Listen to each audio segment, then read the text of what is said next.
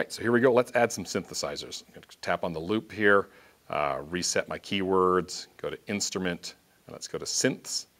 And the one I'm looking for is this Remix Chord Slicer FX21. There we go, Remix Chord Slicer FX. Oh, see, that looks really, and it sounds really good. So I'm going to take that Remix Chord Slicer FX21, take it there, and I'm going to put it on, let's put it down here on a new track, and I'm going to put it at 13 here. I want it to fill that one little gap that we have here, just a little bit to add to that drum track. So I'm going to go ahead and grab the end of it here and just shorten it just so it fills that one little area. And then I'm going to copy and put my playhead at 21 here and paste it so that um, you notice I'm not going to extend it here. I want the song just to end very with very minimalistic instruments here. So let's take a listen to the whole 60 seconds of our song here.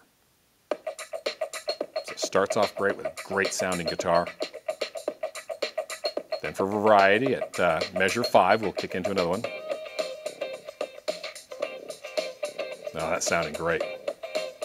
We have a little break right here in the middle. This is going to be like our little, um, it's called sometimes a bridge.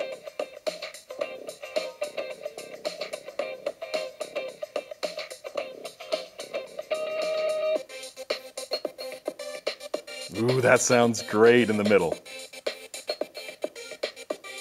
Okay, then we go back to our other sound.